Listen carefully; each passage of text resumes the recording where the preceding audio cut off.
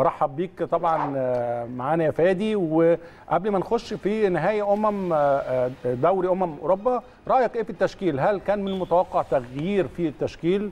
هل كان هو ده التشكيل اللي بدأ به هو التشكيل الأنسب لهذه المباراة؟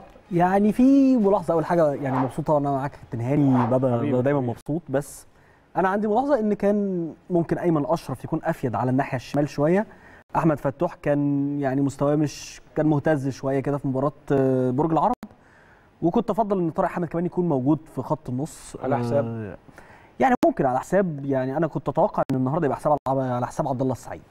ويدي آه، يعني حرية أكبر لعمرو السولية والنني. 4 3 3 4 3 3 ويدي حرية أكبر لعمرو السولية أو لمحمد النني إن هم يزيدوا مع الثلاثه اللي قدام يعني. بس طبعا اختيارات الراجل هو أكيد شايف آه، مذاكر فرقة ليبيا أكتر مننا وشايف ال- الملعب برضو هيبقى في عامل كبير. ملعب النهارده ترتان يعني أكيد حضرتك هتبقى عارف أكتر مننا. ملعب صعب جدا ملعب البند. بتاع الكرة أعلى ال second ball هتبقى أصعب فهو أكيد عنده عنده وجهة نظر في التشكيل ده وهنشوف يعني في المباراة إن شاء الله يبقى الفوز من حالفنا يعني.